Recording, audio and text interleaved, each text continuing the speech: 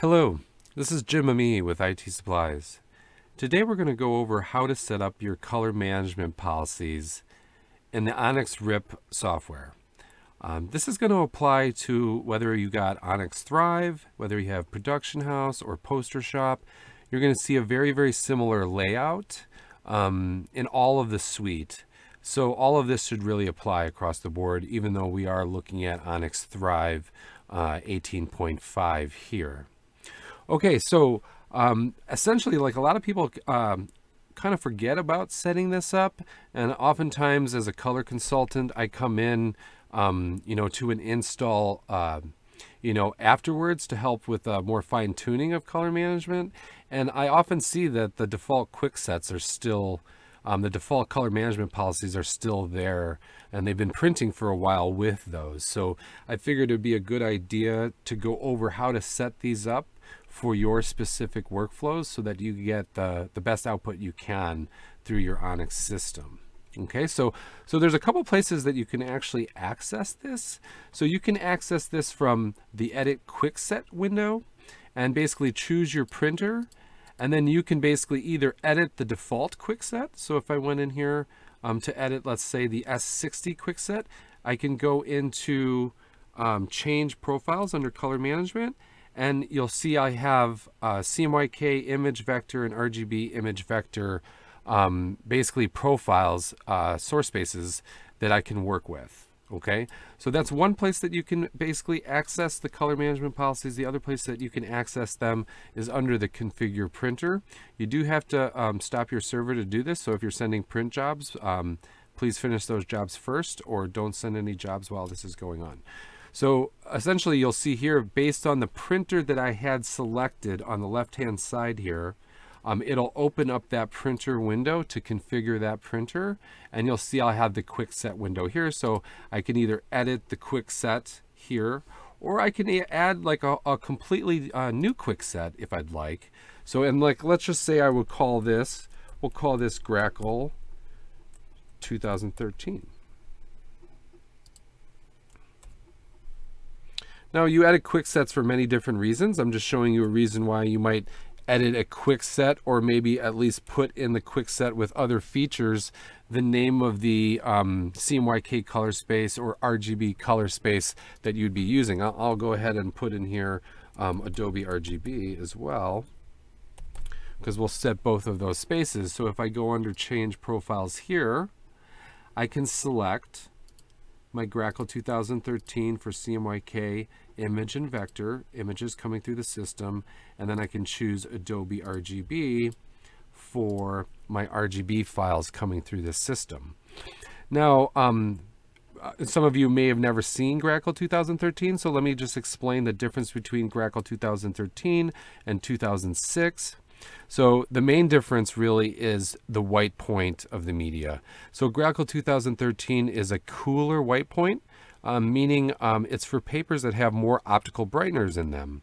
So if you have a production CMYK media um, that has heavy optical brighteners, you can kind of tell because it's um, pretty cool blue. If you took a, a, UV light to it, it would fluoresce pretty blue if it had optical brighteners um, then you might want to choose GRACoL 2013. If you have a more neutral paper, uh, you know, where GRACoL 2006 is a little blue of a white point, but not, you know, it's closer to neutral, maybe you choose uh, GRACoL 2006. The default that, that, that you get with um, Onyx, Adobe, many different pieces of software, um, still to this day in 2020 is US Web Coated SWOP v2.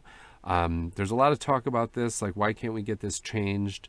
Uh, you know, to something of a more modern CMYK color space. I believe, if I'm not mistaken, um, this color space started in 1998 and was used for, from what I've heard, brass gravure cylinder printing.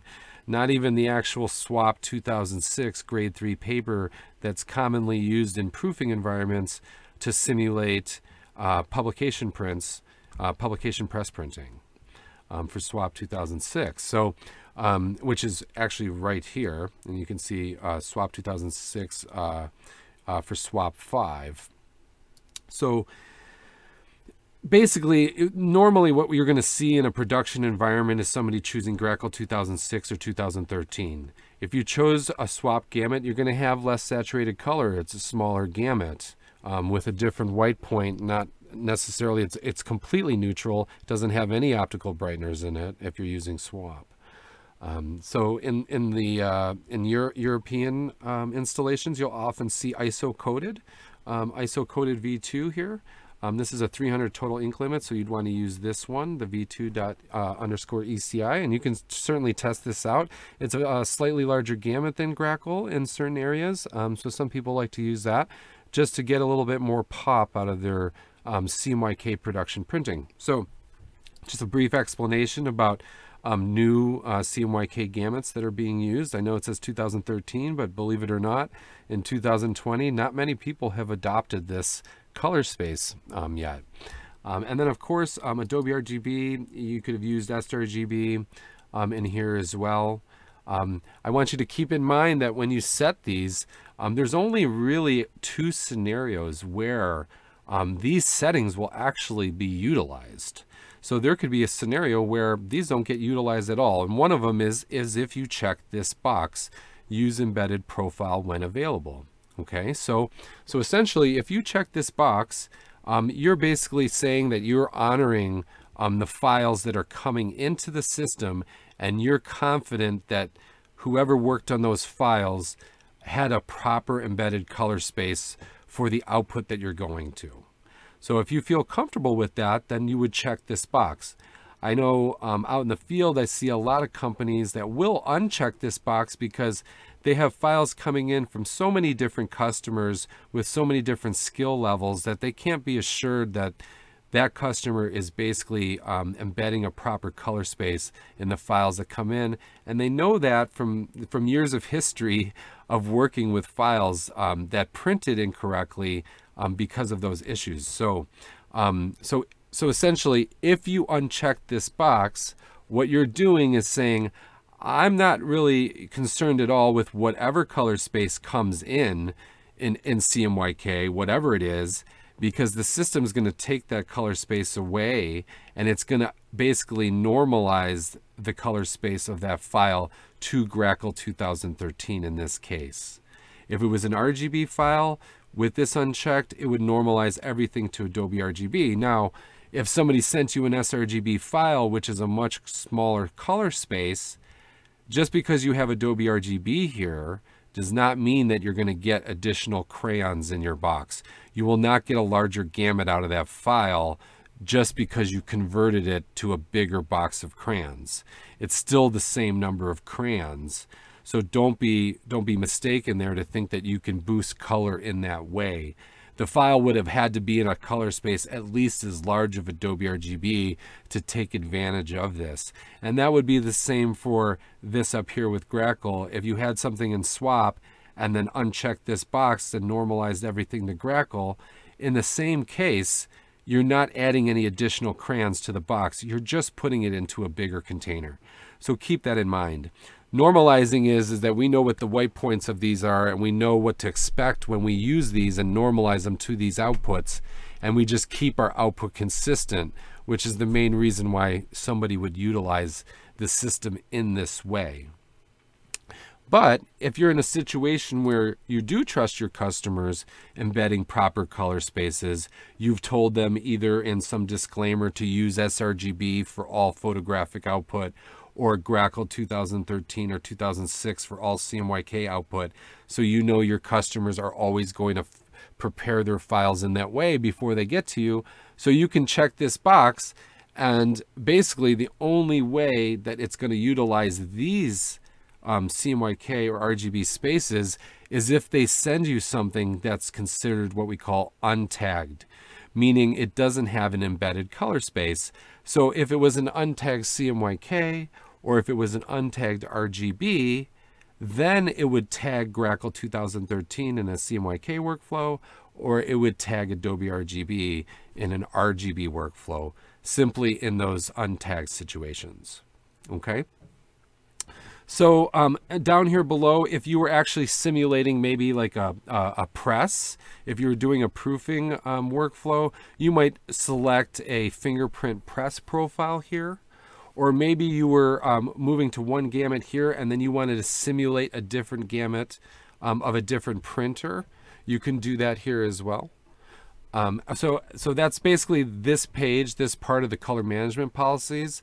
I know there's a lot going on there, but I think it's important for you to know um, what you're doing when you're setting this and what you're not doing by not setting it um, and, and potentially limiting your output um, when you're printing. So the next tab here for rendering intents, you'll see um, CMYK image perceptual with black point compensation. Um, oftentimes, you know, if it's um, if there's a lot of photographic output in the CMYK file, then I might use black point compensation because what it, it's going to do for you, it's basically an Adobe feature to open up shadow detail. Um, typically, what you're going to see that in photographic work as opposed to graphic design. Um, so if there's shadow detail in a photo, um, if you don't check this, it potentially can crush those shadows to black. Um, so you don't see any fine detail in those shadows where if you did have this checked um, and you had photographic imagery in that CMYK file, you could potentially reveal some more shadow detail if you had this checked. But typically when I'm, I'm looking at CMYK graphic design, we're just choosing perceptual as the best output here. And I'm going to explain what perceptual and relative colorimetric do um, in another video because it's it's a little bit complicated and I want this video to go too long in, in another um, um, pretty intricate topic in terms of which rendering intents you choose. I'm going to uh, simply give you what I like to choose for the, uh, the majority of CMYK output and RGB output. So in RGB, I would choose um, relative colorimetric for pretty much the majority relative colorimetric or relative colorimetric with black point compensation for the majority of RGB files that are coming through a system.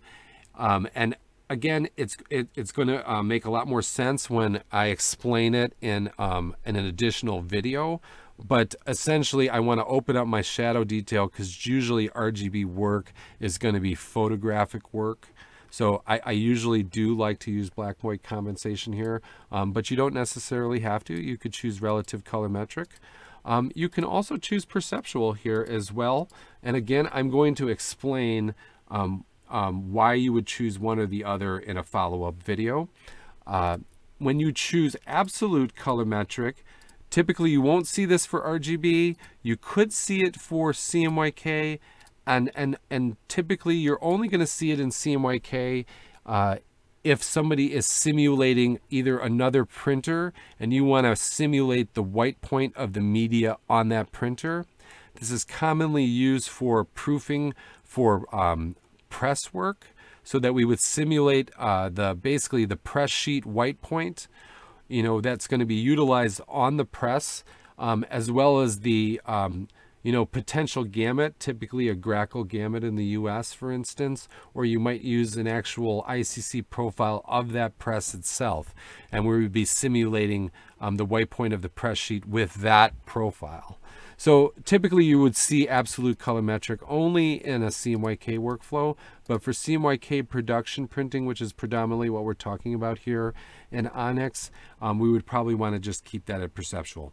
Um, and then with RGB, typically you will not choose absolute co colorimetric. I, I, haven't seen any case where, where that would make sense. Um, but saturation is something that you might potentially see. You could see saturation in CMYK with CMYK graphic design as well. But what saturation does is basically, it basically boosts the colors of the file. So it's going to print inaccurately. So keep that in mind. If you're printing something for customers and they're expecting to get back what they gave you, um, printing in saturation is basically giving them more pop. So if they asked you for more pop, this is something that you could potentially do. Um, but it's not recommended. Usually when we see saturation, it's, it's meant for um, situations like this. I'll give you an example. Um, when you drive down the highway and you're looking at a billboard that's potentially a half mile away or a mile away, um, that billboard needs to draw your eye to that billboard. So a, a, common approach is to use saturation as the rendering intent here so that the graphics on that billboard pop more so that you can see it better from the highway. So, so again, this is not for accurate output. Um, so it's not very commonly used. Typically we stick to perceptual um, and relative colorimetric here in RGB. Poster color is not something that I'm familiar with in Onyx. This might be something new in 18.5. It's not something that I've used, but it sounds very similar to saturation. Maybe maybe it doesn't um, saturate as much, or I, am not really sure. I'm I don't want to speak to something that I've never used. Um, maybe something that you could test out or investigate in um, the Onyx manual, something like that. Okay, so lab images, it's very uncommon in production printing to see anybody using a lab image, so um, we'll just keep that at the default there. And then if you actually embed rendering intents into the files or the customers do, um, you can check this to use the embedded.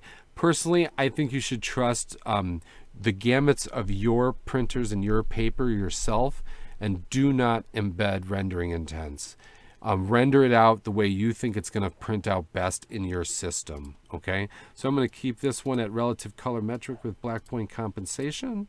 And that's pretty much it. That's that's pretty much all you're going to need to set. Um, the output tab here, these are pretty advanced features using iccMAX subprofiles, um, advanced black generation or GCR settings, and, and spot channel replacements. So this is a, a little bit more involved and probably requires a separate video to go over. So I really wanted to just go over setting up your main color management policies in terms of source profiles as well as the rendering intents that you would use. Okay, so after I've set that up, so and I've had this up here, so now I can go ahead and save this out.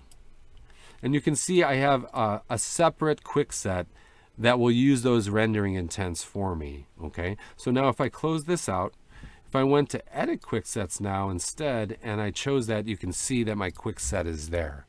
So if I brought a file into the system, it's going to, and with those rules that I gave you, it's going to follow those rules for that particular workflow.